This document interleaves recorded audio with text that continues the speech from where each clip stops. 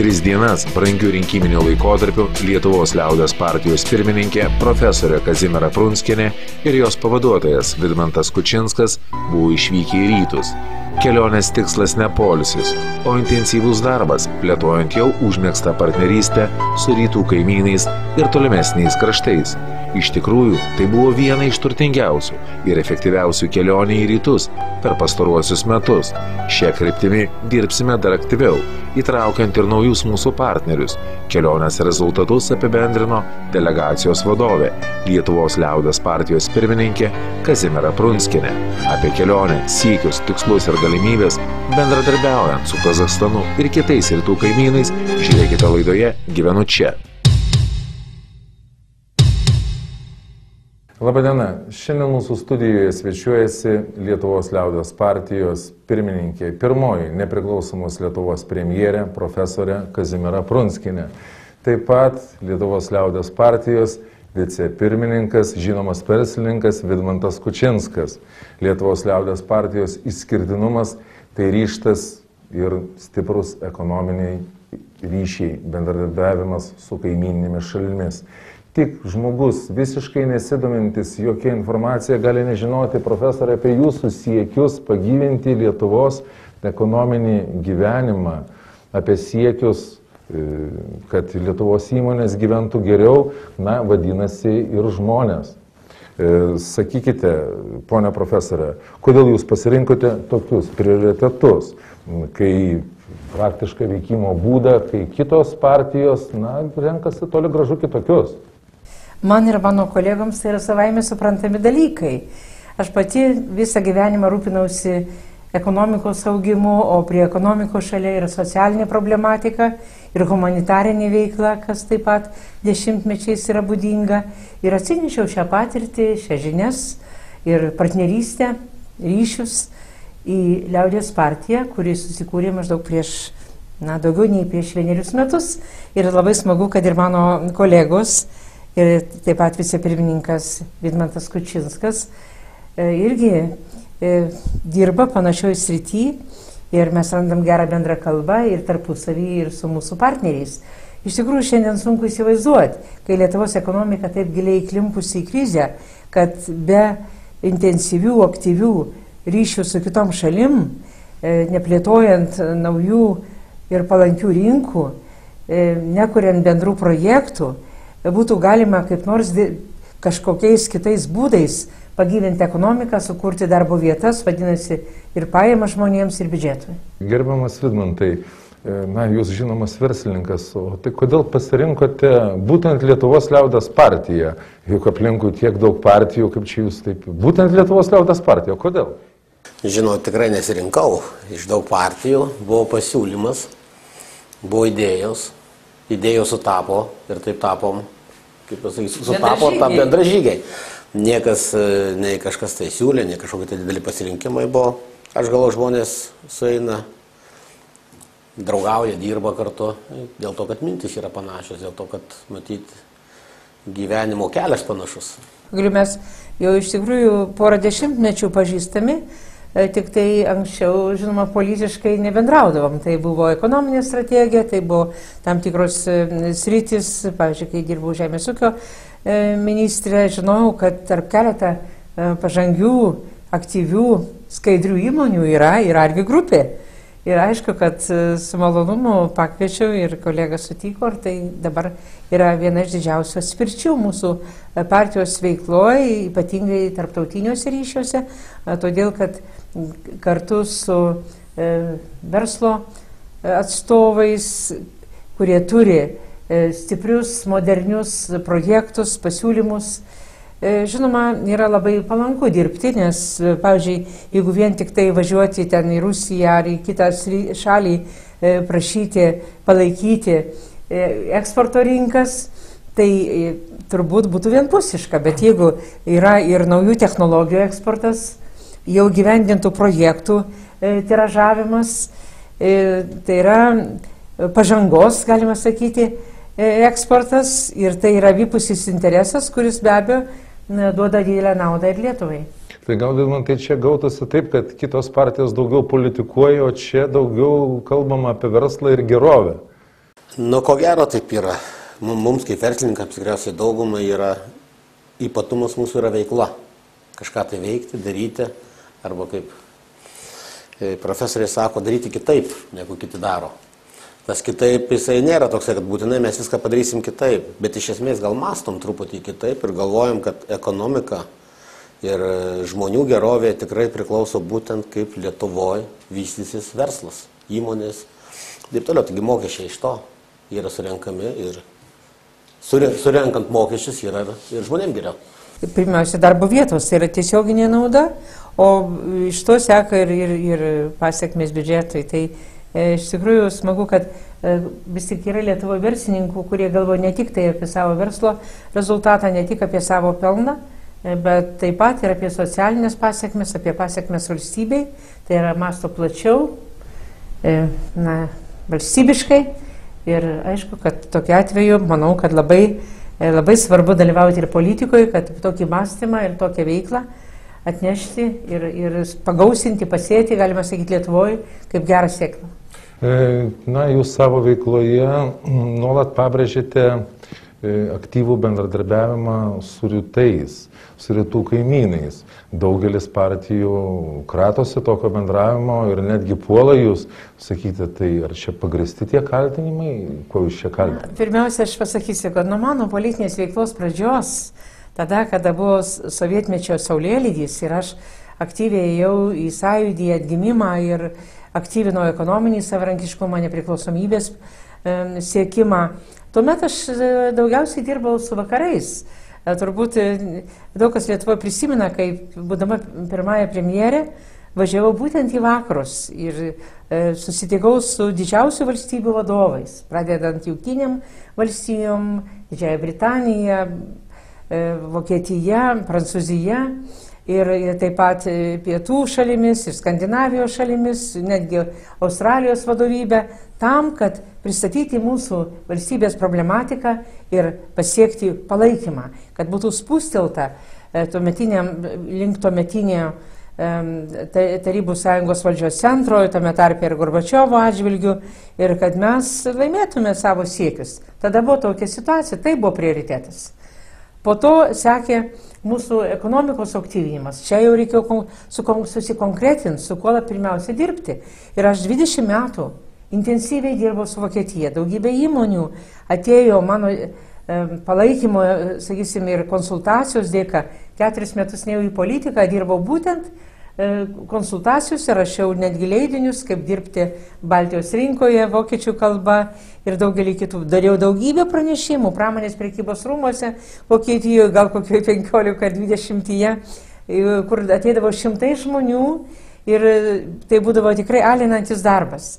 E, apie 300 žmonių padėjau išvažiuoti, stažuotis po diplominiam mokymui pilnai, tai tris universitetus pilnoms studijoms, e, daugumą jų sugrįžo laimiai. Tada dar nebuvo tokios mados pasilikti. Ir dabargi atėjo laikas, e, kada reikia ieškoti tokių nišų bendradarbiavimui, kurios pakankamai greitai duotų rezultatą. Nes vakarų Europoje, ES šalių tarpe irgi padidėjo konkurencija atėjo ir naujos šalis po mūsų. E, pagaliau ekonominė krizė supresavo tas ekonomikos plėtros galimybės tose šalyse ir jos taip pat stengiasi išsaugoti savo galimybės pačios savo. Ir mūsų verslininkams, Lietuvos verslininkams tikrai nėra lengva dar ir daugiau, sakysime, stiprinti ten e, savo veiklumą, savo verslą. Tuo tarpu rytuose auga šalys, tose šalyse vartojimas, E, yra dėgiamos naujos technologijos, e, kur reikia ir mūsų patirties. Ir kaip tik tai netgi vakarų šalis, pavyzdžiui, Vokietija, ponė Merkel, kurią aš asmeniškai pažįstu, net ir jinai man buvo parūpinusi lietuviams e, profesūrai, stipendijų savo laiku, kai dirbo ministerijose. Taip pat jie važiuoja ir į Rusiją, ir į Kazakstaną. Ir aš su kai kuriais žmonėms senais pažįstamais susitinku tikrai tose šalyse, e, rūpinantis panašiais klausimais, tai yra jų ekonominiais ryšiais, e, jų šalių nauda. Tai kodėl mes dirbtinai būdami čia šalia, susikalbėdami e, ta kalba, ar tai būtų Rusija ar Kazakstanas, ten ar Ukraina, mes galim kalbėtis Baltarusija pagaliau, rusų kalba, kurios dar neužmiršom, bent jau mūsų karta. Ir čia mes surandam galimybės. E, iš tikrųjų, pavyzdžiui, kad ir e, turistų srautų pritraukimas į Lietuvą. E, tai kokie turistai labiausiai linkia važiuoti pas mus, e, kurie gali čia susikalbėti, e, kurie galbūt vaikystėje, kaip pavyzdžiui, peterburgiečiai, atostogavo su savo šeimoj, augo mūsų gyriuose ir maudėsi mūsų ežeruose ir jūroje, jie dabar nori atvažiuoti. Tuo tarpu mes kažkodėl turėtume užsisklęsti. Aš sakau, geras principas, gera kaiminystė. Bet jis yra gerokai lėkštas ir tuščias, jeigu jo nepraturtini aktyvia veikla, e, konkrečiais e, verslo projektais ir iš to neuždirbi e, duonos, na, savo ir, ir Lietuvai, aš turiu minti tuos žmonės, kurie įsijungia į konkrečius verslo projektus. O mūsų kaip politikų tikslas, ypatingai mano, kaip partijos pirmininkės, tai yra sudaryti prielaidas. Prielaidas maisto sektoriui, statybos, e, turizmo sektoriui, lengvai pramoniai, daugelis ryčių. Ir kiekvienoje šalyje aš turiu daugybę jau atidirbtų, sakysim, na, temų e, su tam tikru įdirbiu, kurios jau praktiškai pradeda nešti konkrečią naudą. Gerbiamas Vinuntai, vis tik tai aš dabar paprovokuosiu. E, na, ekonomistai sako, dažnai mato kitaip negu verslininkai, verslo žmonės.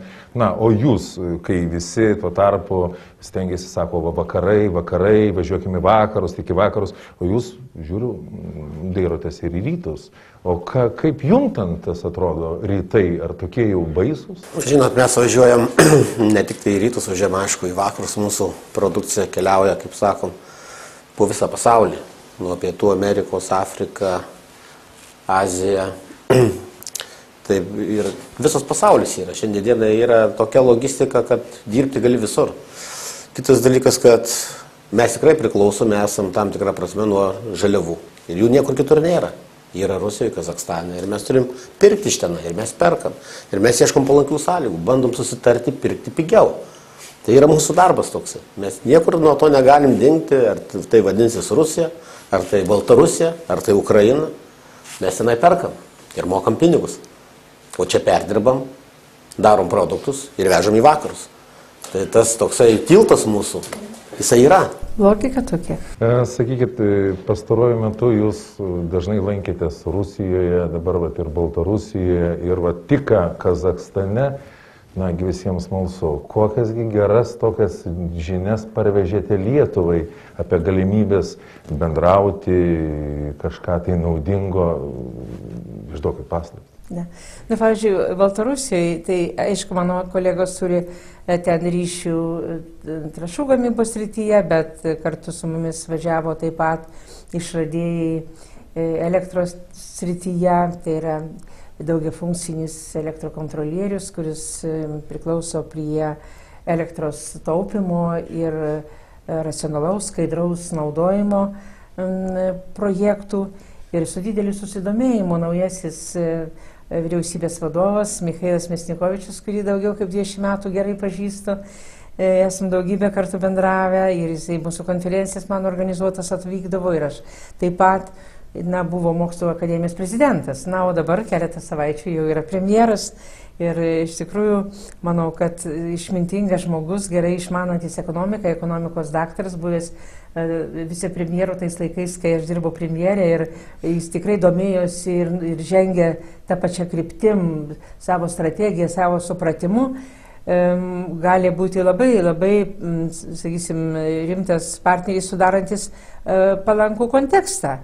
Palankų kontekstą bendradarbiauti su E, tos šalies e, partneriais. Na, o Kazakstane e, tai buvau pakviesta ir kartu mes važiavom su kolega Kučinsku į valdančios partijos Nurotan suvažiavimą. Šiai partijai vadovauja prezidentas Nazarbaevas, su kuriuo aš taip pat daugiau kaip 20 metų asmeniškai pažįstu ir ne vieną kartą teko susitikti. Jis buvo čia atvažiavęs kažkada pas prezidentą Adamku, pakvietė mane su Brazausku į ambasadą Siauram rate, prisiminti tos laikus, kaip mes kartu e, siekime ekonominio savarankiškumo ir, ir, ir, nuo jo atsirėmė ėjome į nepriklausomybę.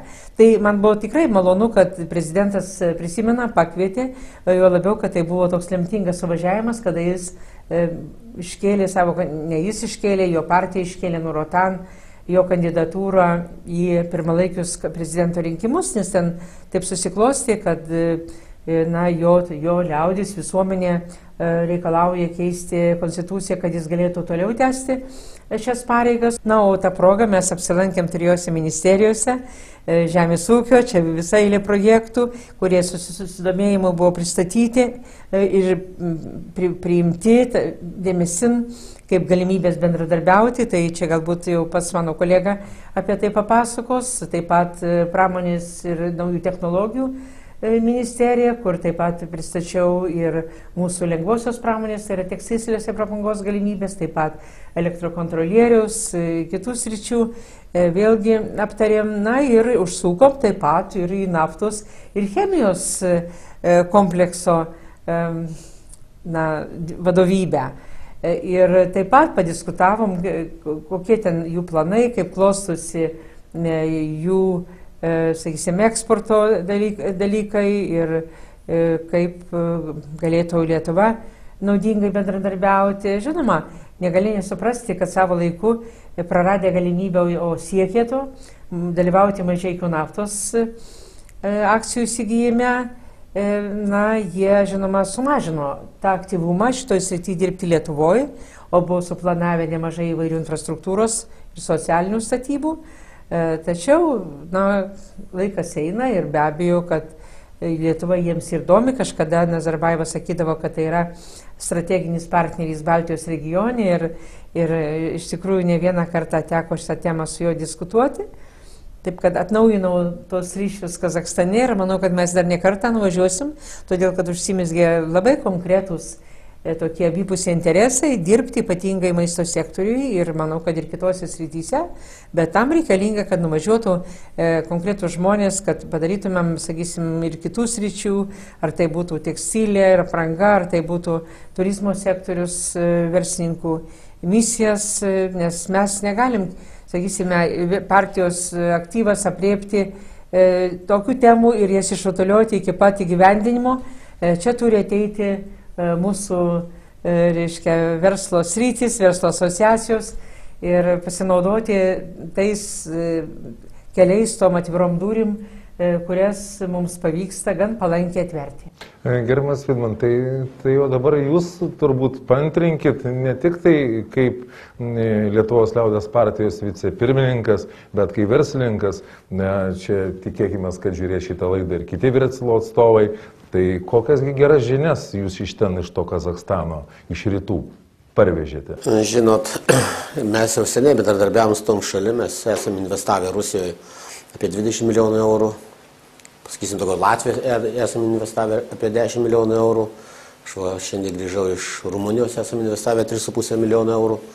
Taip kad mes dirbame jau seniai ir turim eilę projektų, kur mus domina, kur mes randam savo nišą ar galima investuoti. Lygiai taip pat kviečiam ir žmonės iš Rusijos arba iš Kazakstano taip pat, kad jie investuotų į mūsų verslą arba investuotų į mūsų valstybę, kad iš tikrųjų būtų bendradarbiavimas ir būtų abipusis ryšys. Taip kad šiandien pasakyti, kad jau Kazakstane kažką tai mes e, darom negalim, Bet kad tikrai užsimesgė geri ryšiai ir mes pasiūlėm keletą projektų, kur tikrai jie susidomėjo ir mes e, tose srityje bandysim, kaip pasakyti, dirbti, tai yra faktas. Vienas iš pagrindinių tokių dalykų, kad mes jinai, e, pabandysim įkurti agroverslo institutą. Mes jau tokį turim Lietuvoje, tai yra Baltijos agroverslo institutas, kuris galėtų bendradarbiauti būtent investicijose ir projektų parinkime ir jų kaip pasakyti, ekonominės naudos davimo tai valstybei būtent keliu, eiti, siūlyti, tai yra didelė patirtis Lietuvo, tikrai Lietuva su savo technologijom, būtent kai įstojom į Europos Sąjungą, mes tikrai pasinaudojom labai, e, kaip pasakyti, ir pinigais, ir e, yra daug pastatyta įmonių tiesiog žalioj vietoje, kaip pasakyti, e, investicija likam laukia. Tai tokias investicijas siūlom mes daryti ir būtent tose valstybėse. Ir jau turim patirties.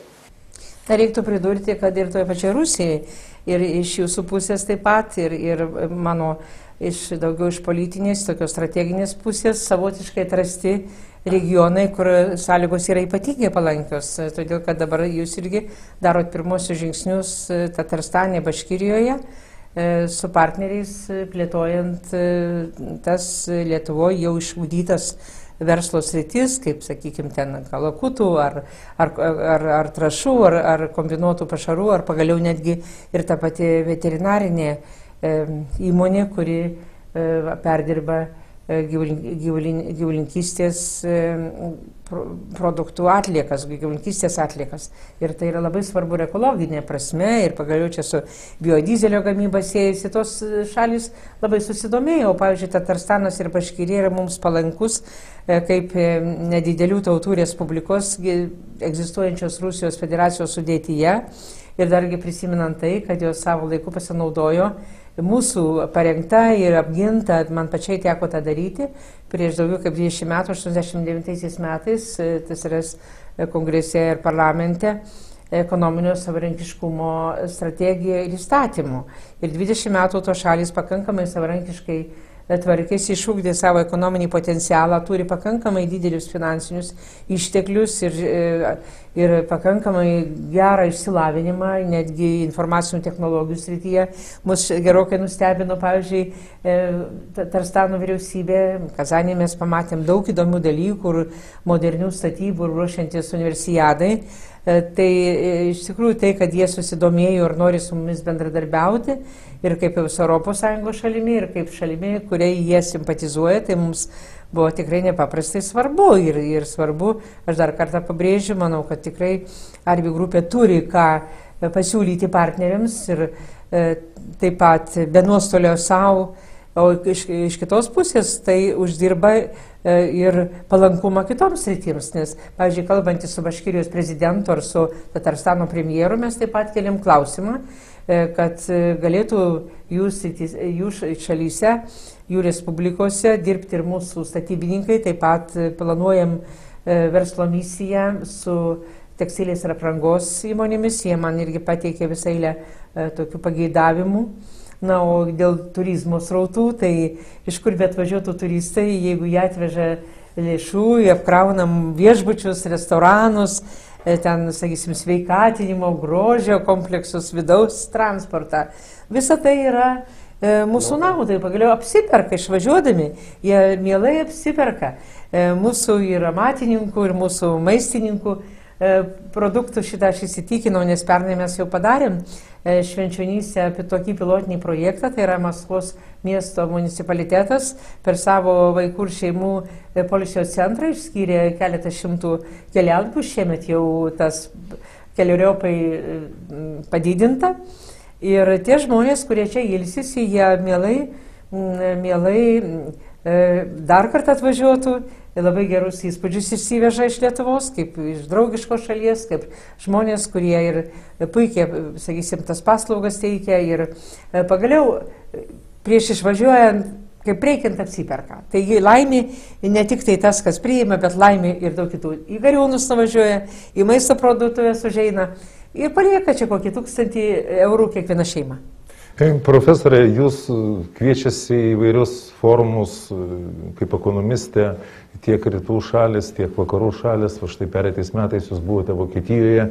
Ar nekyla kažkokių tai tokių prieštaravimų, kai jūs aktyviai skatinate bendradarbiavimą su rytais ir čia vat, vakarų šalis, kaip į tai žiūri, tenai dalyvaujant? Nuo pat mūsų nepriklausomybės išvakarių, o aš jau su Vokietija dirbu nuo 82-3 metų, nuo mano mokslinio darbo Frankfurto Primaino universitete, ypatingai nepriklausomybės išvakarėse ir pradžioje visi labai palaikydavo mano taikingą poziciją e, į visas kryptis. Mes neturim e, bandyti aiškinti santykių tarp rytų ir vakarų, gyvendami tarp jų, toj geopolitiniai padėti, kurioje esame. Ir ta linija, tai yra gera kaiminystė ir aktyvus bendradarbiavimas, vakarams yra labai priimtina. Jeigu mes pradėtum kiršinti vakarus su rytais ir patys bandyti užduoti e, toną, kokį tai prieštaringą, konfliktišką, nedraugišką toną, e, pavyzdžiui, ES ir Rusijos santykiams, kas kartais dėja pasitaiko. Tai nėra priimtina, tai net nėra, sakysim, palaikoma. Na, vis tik tai niekam nėra paslaptis, kad artėja savivaldybių tarybų rinkimai Ir sakykit, kokią naudą turės savivaldybių tarybos, Marijampoliai, matysim Vilniuje ir kitose miestuose. Vis matai, ką mes matysim Marijampoliai? Dėda nuo Marijam. Žinot, ko gero visi kuria įvairius planus, pasako, kaip bus geriau. Aišku, iš karto geriau nieko nebus. Aš galvoju, padaryti kažką gali aplamai asmenybės. Ne partija, ne kažkokie tai, kaip pasakyti, susivienimai ir taip toliau. Yra asmenybė žmonės partijoje. Tai mano nuomonė, asmenybės gali padaryti daug darbų. Tie, kurie turi savyje jėgų, minčių ir mąstymų pakankamai. Ką galima padaryti ar Marijampolė, ar Druskininkose, ar Kaune, ar Vilniuje ir visose miestuose. Aišku, mes turim daug idėjų, turim daug idėjų, mes esam versle, mes sutvarkėm įmonės, mes pastatėm Marijampolį daug įmonių, tai esam didžiausia. E, Viešbutį puiku. Taip, esam didžiausia įmonė Sudovos krašte, Ir Lietuvoje, aišku, ne, ne, ne pati mažiausiai einam į stambiausių įmonių sąrašus. Mokam mes tą dalyką daryti, mokam kurti darbo vietas, mokam bendrauti su politikais, mokam bendrauti su, su mokslu, su, su kultūra. Esam daug e, programų rėmėjai, mecenatai ir institutų, universitetų ir taip toliau. Aš galvoju, žmonės turi patikėti asmenybę, kad jinai gali kažką tai padaryti būtent tam mieste ar toj savivaldybei. Jeigu žmonės patikės, reiškia, padarysim. Na, aš manau, kad jeigu jau tvarkote tokį verslą, tokias įmonės, tai reikia tikėtis, kad jau miestą savo pasirūpinti žmonėmis ir jų darbo vietomis tikrai galėsit. Pone profesorė, o kaipgi čia mes žiūrėkim Vilnių, žiūrėkim kitas Lietuvos kraštus ir įvardinkim jūs kaip pirmininkė bendrą vardiklį. Kągi atneštų Lietuvos liaudės partijos savivaldybių tarybose. Aktyvesnį ekonominį, socialinį ir kultūrinį, taip pat tarptautinį gyvenimą, kad ir Vilnius tapti žymiai e, atviresnis, e, gyvybingesnis, kurtųsi daugiau darbo vietų. Apie tai mes jau kalbėjom. E, praktiškai visą vakarą, visą, visą šitą pusvalandį mes kalbam apie tai. Ir žinoma, atsigautų ir žmonių nuotaikos jų pasitikėjimas ateitimi. E, nesinorėtų išvažiuoti iš Lietuvos, o galbūt dalis žmonių ir sugrįžtų, kada čia kurtųsi darbo vietos ir žmonės gyventų geriau. E, tai mes tai vadiname, e, mūsų, mūsų tokią liniją vadinam tokiu ūkišku, praktišku savivaldybių darbo organizavimu.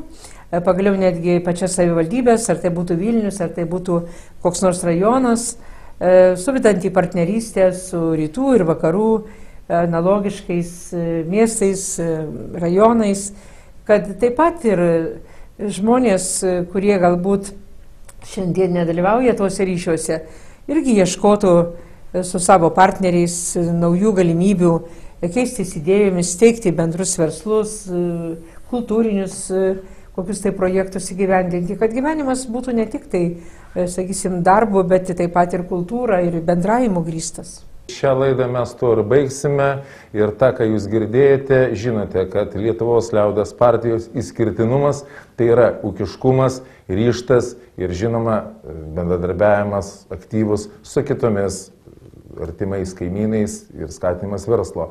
Ir partijos sąrašo numeris yra berots 44. Taigi, jeigu jūs... Keturi, keturi. Keturi. Jeigu jūs už, balsuokite ir žinoma pasirinkite.